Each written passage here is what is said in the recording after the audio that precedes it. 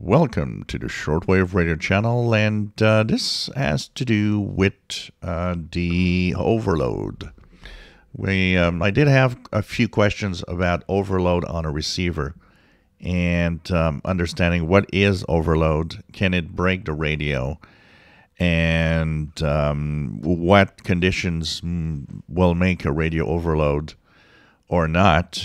And so, um, and and you know, this is an interesting um, question because overloading happens mostly on portable receivers because their sensitivity is kind of pushed to the max. Uh, why? Because you know most of the time you use it on the telescopic, and it has to be real sensitive to get uh, the maximum amount of signal out of that little antenna. Uh, it's something you don't see as much on expensive tabletops because they're meant to kind of resist overloading, um, and that's often why they're more expensive. They kind of have extra tougher circuitry to cope with overload, but it doesn't mean it can't, because even a really expensive desktop in certain conditions can still overload.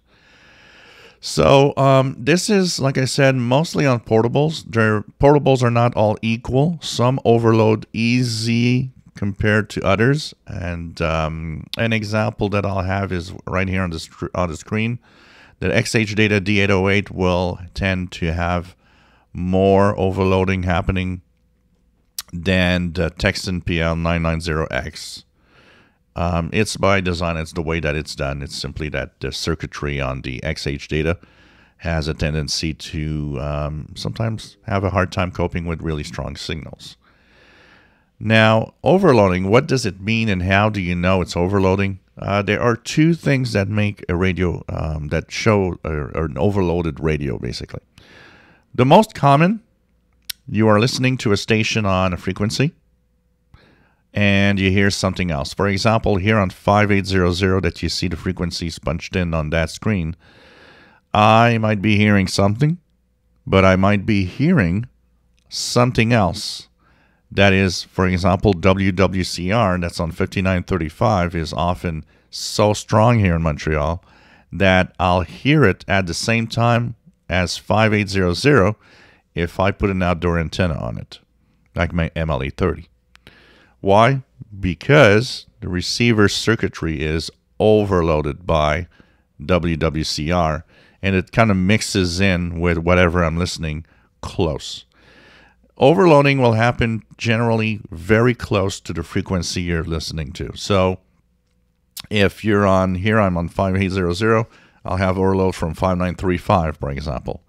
But I will not have overload from a very strong station that's on, say, 11,800 it's too far away. And that's not where I'm tuned. So usually that's not a problem. It will often happen, like I said, with stations that are very close in frequency, within the same band, for example. You might hear something on 5900 and be overloaded by something on 6100 because it's the same meter band or very close in frequency in general, just a, a couple of hundred kilohertz. So that will be one. And I have several examples on the channel where I've shown some overload, but I will um, intentionally find something to uh, show you overload um, in the next uh, couple of days to, to uh, show you guys what happens again. So that's one thing. Um, overload can also do the reverse, desensitize some radios. What that means is that the amplifier is so overwhelmed by the signal that is close to the frequency that the radio sensitivity just drops to a very low level. Which means you might hear the overloading signal if you tune it, but you might not hear much around it because the radio sensitivity has gone down the drain. An example of that is my ICOM ICR30. This is what happens typically here on my ICOM ICR30, and I can that's that's one that I can demonstrate easily what happens when a radio gets desensitized by too many strong signals around it. So that is a different thing. On most portables, that's not what you're going to see. On most portables that I've seen on shortwave, what you see is mostly signals mixing in together. You're hearing a signal and you're hearing another signal that's not supposed to be there, at the same time. So you'll be hearing two voices. Um, so that is mostly what happens. Can you overload a radio and break it? No. Signals are strong, can be very strong, but they're not strong enough to damage the radio. So don't worry about damaging a radio with an overloading of signal, which means if you were scared of breaking your radio and you didn't put a big antenna outdoor because of that, don't worry about it. That's not going to break it. It's going to do spurious things. It's going to mix in signals together, but the radio's it's going to be fine.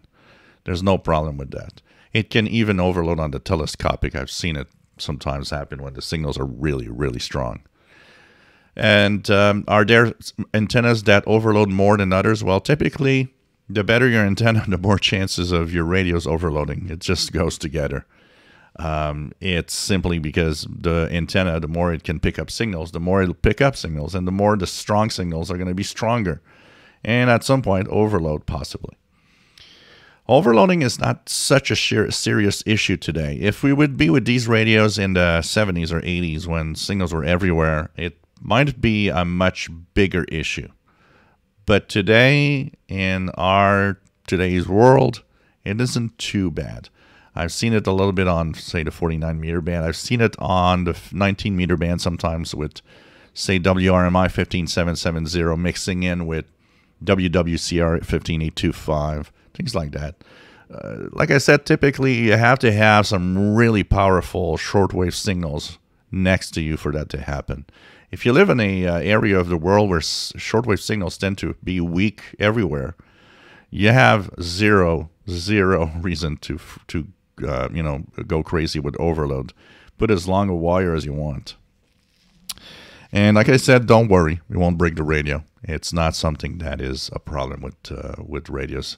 Uh, typically, radios can be um, you know broken by um, too strong of a signal, but generally that means you're transmitting too close to it.